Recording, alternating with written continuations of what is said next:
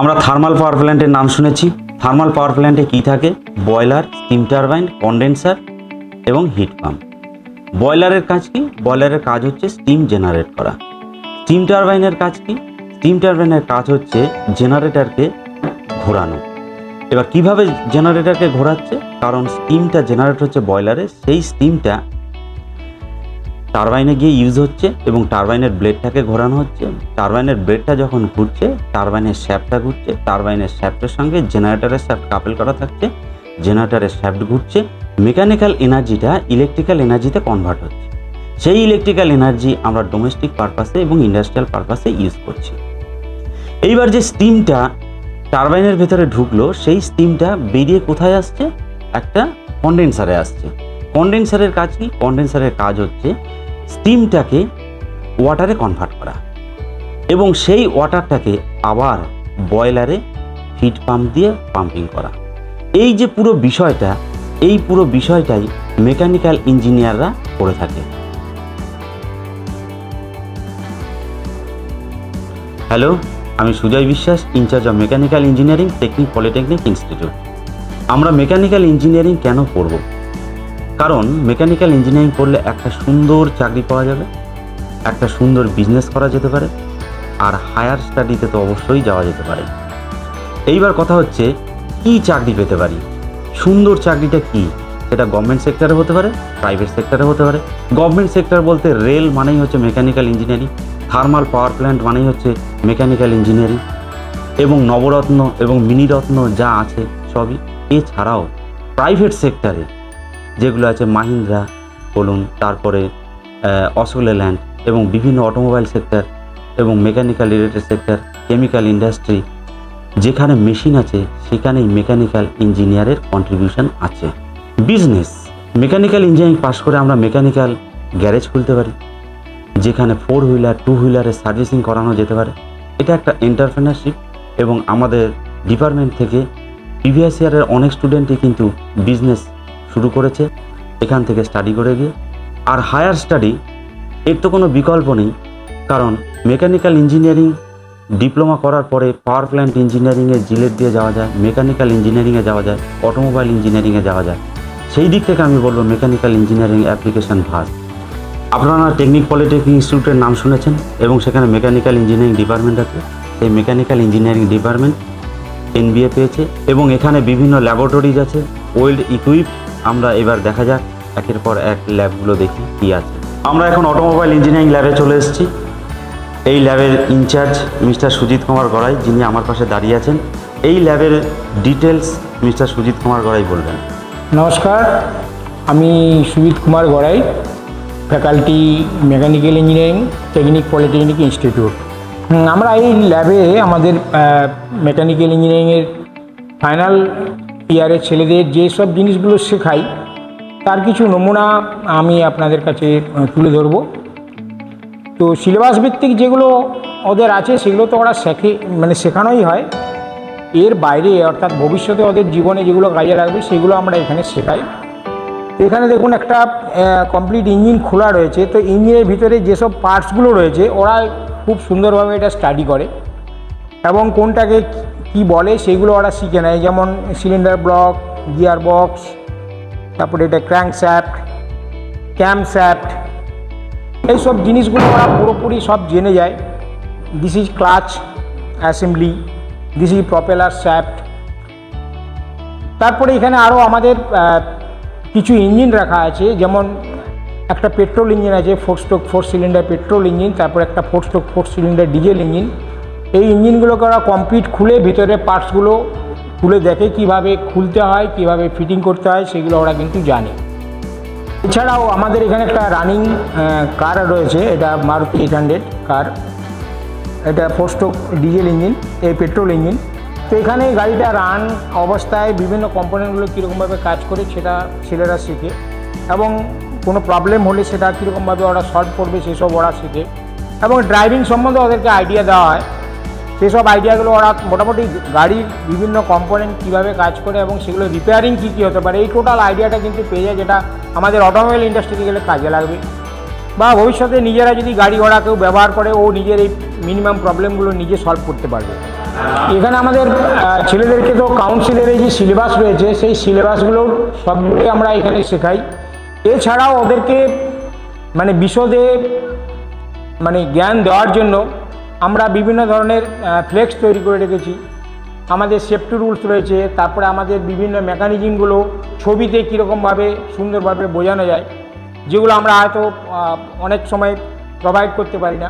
তো এই ছবিগুলো দেখে ছেলেদের একটা কমপ্লিট আইডিয়া হয়ে যায়, অর্থাৎ বিভিন্ন সিস্টেম অটোমোবাইল সিস্টেমগুলো কীরকমভাবে কাজ করে। কারণ মেকানিক্যাল ইঞ্জিনিয়ারিংয়ের এটা একটা অনেক বড় জায়গা। আগামী দিনে আমাদের ইলেকট্রিক ভেহিকেল বেরোচ্ছে। ইলেকট্রিক ভেহিকেল এখন সিলেবাসের মধ্যে নতুন করে ইন্ট্রোডিউস করা হয়েছে।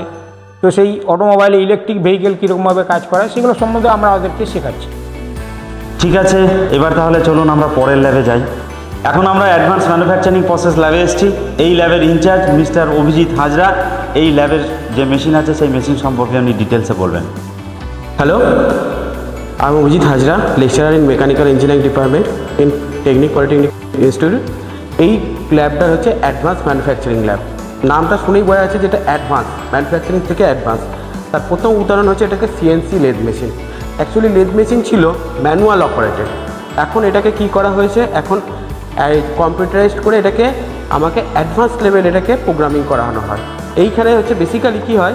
না, তো ডিপ্লোমা ছেলেদের প্রথম কথা প্রোগ্রামিং ট্রেনিং দিয়ে তাদের ইন্ডাস্ট্রিয়াল পারপাসে তৈরি করা হয়, ঠিক আছে?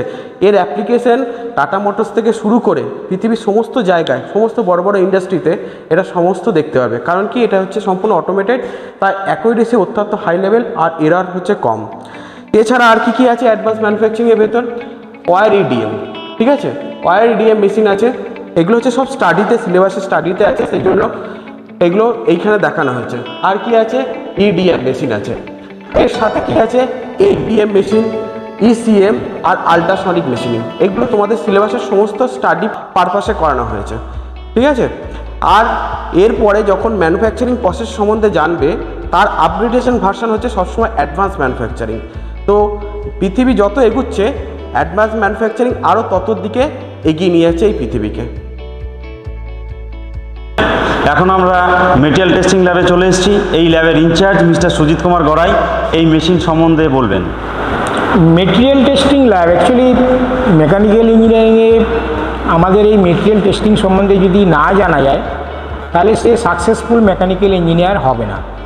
কারণ ইন্ডাস্ট্রিতে যখন কাজ করবে, তাকে মেটেরিয়াল টেস্ট করে দেখতে হবে।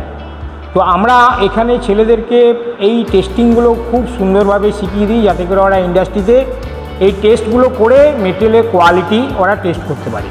তো আমাদের যে টেস্টগুলো ওদেরকে শেখানো হয়, সেগুলো হচ্ছে যেমন ইটিএমের মধ্যে আমরা চারটে টেস্ট শেখাই। একটা হচ্ছে টেনসাইল টেস্ট দু নম্বর কম্প্রেসিভ টেস্ট তিন নম্বর হচ্ছে সিআর টেস্ট আর চার নম্বর টেস্ট যেটা হচ্ছে বেন্ডিং টেস্ট এই চারটে টেস্ট আমরা কিন্তু ইটিএম থেকে ছেলেদেরকে শেখাই। এছাড়া ছেলেদেরকে হার্নেস টেস্ট শেখানো হয় এই মেশিনের সাহায্যে। এটা হার্নেস টেস্ট এটা দিয়ে আমরা ছেলেদেরকে হার্নেস টেস্টটা শেখাই। তাছাড়াও আমাদের আরও অনেকগুলো টেস্ট করা হয়। যেমন এখানে এই মেশিনটা যেটা দেখছেন আপনারা, এই এটা হচ্ছে যে ইম্প্যাক্ট টেস্টিং মেশিন এখান দিয়ে আমরা মেটেরিয়ালের স্ট্রেংথ বা টাফনেস কত, কোন মেটেরিয়াল একটা আনন মেটেরিয়ালের টাফনেস কত, সেটা আমরা টেস্ট করে দেখাই।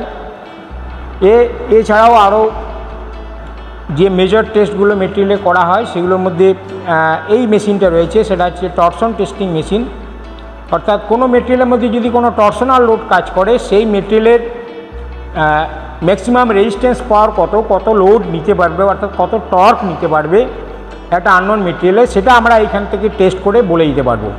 তো এই টেস্টগুলো যদি ছেলেরা ভালো করে শিখে ইন্ডাস্ট্রিতে যায়, ওখানে কাজ করতে গেলে এই নলেজগুলোই কিন্তু ওরা অ্যাপ্লাই করবে।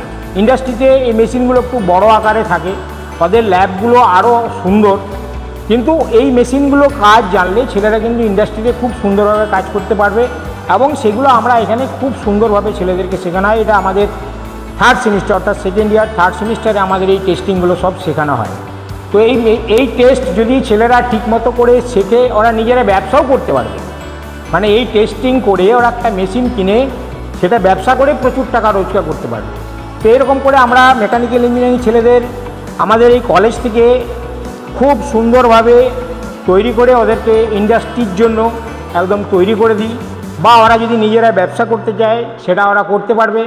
তো এটা আমাদের মানে কলেজের একটা ভিশন বলতে পারে বা আমাদের ইনস্টিটিউশনের ভিশন যাতে করে ছেলেরা মানে এখান থেকে পাস করে ভালো চাকরি বা নিজেরা ব্যবসা করতে পারবে।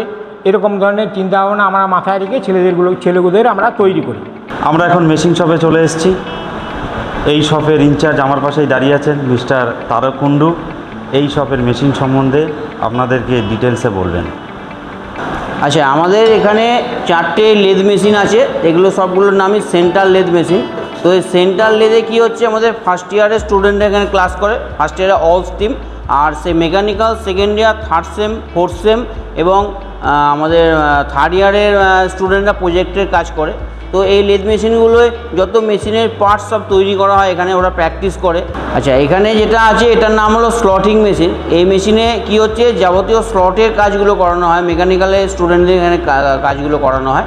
এটার নাম হলো স্লটিং মেশিন এখানে এই একটা মেশিন আছে, এটা হলো রেডিয়াল ড্রিলিং মেশিন এখানে যাবতীয় ড্রিলিংয়ের কাজগুলো স্টুডেন্টদের এখানে করানো হয়। আর এখানে এই একটা আছে, এটা হলো ক্যাপস্টেন লেদ এখানে এটা হলো প্রোডাকশান টাইপ লেদ এখানে প্রোডাকশান টাইপ ওয়ার্কগুলো স্টুডেন্টদের এখানে করানো হয়। এটা হলো শেপিং মেশিন এখানে কি হচ্ছে? ফ্ল্যাট সারফেস সারফেসের উপরে যে কোনো অপারেশনগুলো এই মেশিনে করানো হয়। এটা মেকানিক্যাল স্টুডেন্টরা এখানে কাজ করে। সেটা হলো third sem third sem student fourth sem student এবং থার্ড ইয়ার স্টুডেন্টরা এখানে কাজ করে। এরপরে আছে, এটা হলো মিলিং মেশিন মিলিংয়ে এখানে ফাইন ইনস্ট্রুমেন্টের কাজ করানো হয় ফাইন অপারেশনগুলো করানো হয়, যেটা আমাদের ফোর্থ সেম স্টুডেন্টরা এখানে কাজ করে। আর থার্ড ইয়ারে মেকানিক্যাল প্রজেক্টের কাজগুলো করানো হয়। এই একটা মেশিন আছে, এটাও মিলিং মেশিন ওটা হলো হরিজেন্টাল মিলিং এটা হলো ভার্টিক্যাল অ্যাটাচমেন্ট দিয়ে এখানে ভার্টিক্যাল মিলিংয়ের কাজগুলো করানো হয়। এরপরে আছে, এখানে এটা হলো টুল গ্র্যান্ডিং মেশিন এখানে কি হচ্ছে, যত গ্র্যান্ডিংয়ের কাজগুলো টুলগুলো যেগুলো আমাদের কাটিং টুলগুলো ব্লান্ট হয়ে যায়, তখন এখানে সার্ভ করানো হয় এটা, এই মেশিনটা থেকে। এটা হলো পাওয়ার শ মেশিন আমাদের এই যে স্টুডেন্টদের কাজ করানো যে মেটালগুলো মেটালগুলো লম্বা লম্বা মেটালগুলো আছে সেগুলোকে উপযুক্ত সাইজ অনুযায়ী কাটিং করার জন্য এই মেশিনটাকে ইউজ করা এটা হলো পাওয়ার হ্যাকস মেশিন এরপরে দেখুন, এই একটা মেশিন আছে, এটা হলো প্লেনিং মেশিন এটাও ফ্ল্যাট সারফেসের উপরে কাটিং করানোর জন্য এই মেশিনটা বড় বড় জবের ফ্ল্যাট সারফেস কাটিংয়ের জন্য এই মেশিনটা ইউজ করা এটার নাম হলো প্লেনিং মেশিন আর এরপরে আমাদের এখানে এই একটা মেশিন আছে এটা হলো সারফেস গ্রাইন্ডিং মেশিন। এখানে সারফেসকে স্মুথ করানোর জন্য এই মেশিনটা ইউজ করা এটার নাম হলো সারফেস গ্রাইন্ডিং মেশিন। এখন আমরা ফিটিং শপে এসেছি। ফিটিং শপের ইনচার্জ মিস্টার তরুণ চক্রবর্তী উনি এই শপের শপের সম্বন্ধে ডিটেলসে বলবেন। হ্যালো আমি Tarun Chakraborty fitting shop incharge. আমাদের এই ফিটিং শপে বিভিন্ন টুলস ইনস্ট্রুমেন্ট আছে সেগুলো আমি দেখাচ্ছি। এক নম্বর হচ্ছে আমাদের এই একটা মেশিন আছে, ড্রিল মেশিন। এখানে স্টুডেন্টরা বিভিন্ন ধরনের ড্রিল প্র্যাকটিস করেন। যে আমাদের কাজ করতে গেলে যে যে যে সাইজে ড্রিল করা হয়, সমস্ত ড্রিলই এইটাতে হয়। এটা হচ্ছে পিলার ড্রিল মেশিন। এছাড়া আমাদের আছে বেঞ্চ ভাইস। এগুলো হচ্ছে সব বেঞ্চ ভাইস। এই প্রতিটা ভাইসে একজন করে স্টুডেন্ট এখানে ইন্ডিভিজুয়াল কাজ করে। এই কাজ কেন করা হয়? ফিটিং শপ হচ্ছে এমন একটা শপ বিভিন্ন শপে যখন মেশিনে বিভিন্ন পার্টস তৈরি হচ্ছে ওয়েল্ডিংয়ে জয়েন্ট হচ্ছে, কিন্তু লাস্ট হচ্ছে অ্যাসেম্বলি করাটা হচ্ছে ফিটিং শপের কাজ। টোটাল জিনিসটা এসে এই ফিটিং শপে অ্যাসেম্বলি হয়। এই ফিটিং শপটা বিভিন্ন ইন্ডাস্ট্রিতে ফিটিং শপ ছাড়া কোনো কাজ হবে না। এই ফিটিং শপ যার ফলে স্টুডেন্টদের কাছে খুবই জরুরি। যখন প্রজেক্ট ওয়ার্ক হবে, তখন প্রজেক্টের সময় মেশিন শপে পার্টস তৈরি হচ্ছে ওয়েল্ডিংয়ে জয়েন্ট হচ্ছে, এখানে এসে ফিটিং হচ্ছে। যেরকম আমি একটা এক্সাম্পল দিচ্ছি, আমরা যখন দোকানে একটা সাইকেল কিনতে যাই, বিভিন্ন আলাদা আলাদা পার্টস থাকে। আমরা কিন্তু সাইকেলটা বাড়িতে নিয়ে আসি টোটাল ফিটিং করে অ্যাসেম্বলি করে। ঠিক সেই অ্যাসেম্বলি কাজটা আমাদের এই ফিটিং শপে করানো হয়। এবং তারা ছোট ছোট পার্টস এখানে করতে পারে, যেটা হচ্ছে হাতে তৈরি করা হয়। সেগুলো দেখুন কীরকম। এইখানে আমাদের একটা বোর্ড আছে, এখানে স্যাম্পেল দেওয়া আছে। এখানে দেখুন, রেঞ্জ তৈরি করেছে ট্রাই স্কোয়ার তৈরি করেছে, বিভিন্ন ধরনের রেঞ্জ করেছে পেন্টাগন হেক্সাগন ট্রায়াঙ্গেল স্কোয়ার সমস্ত জিনিস এখানে হাতে তৈরি করা হয়। এখানে কিন্তু কোনো মেশিন অ্যাপ্লাই হয় না। এখানে টোটাল কাজটাই হচ্ছে স্টুডেন্টদের হাতে। আমাদের যে যে টুলসগুলো আছে, আমরা এখানে দেখব। এই যে এই টুলসগুলো আমার ফিটিং শপে সব প্রয়োজন কাজ করতে গেলে। এই টুলসগুলো দিয়েই সমস্ত স্টুডেন্টরা কাজ করে।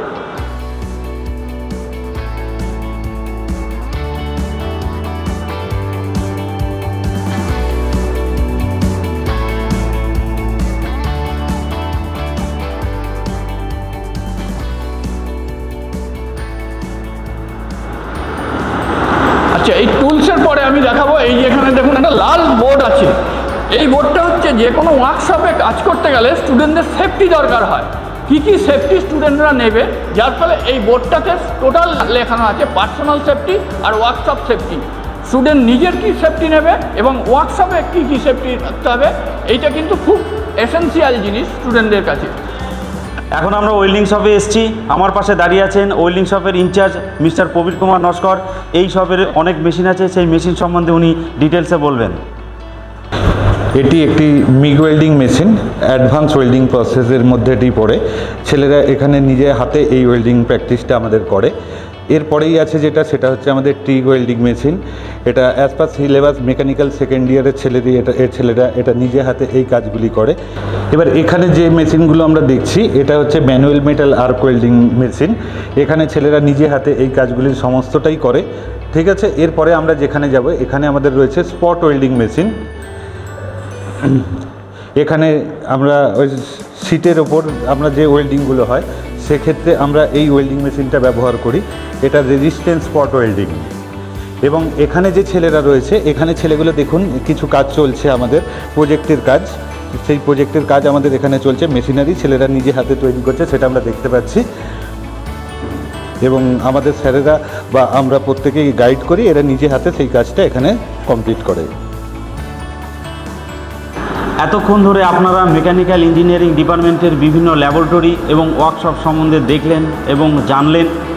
নিজেদের ব্রাইট কেরিয়ার তৈরি করার উদ্দেশ্যে যোগাযোগ করুন আমাদের সঙ্গে টেকনিক পলিটেকনিক ইনস্টিটিউট।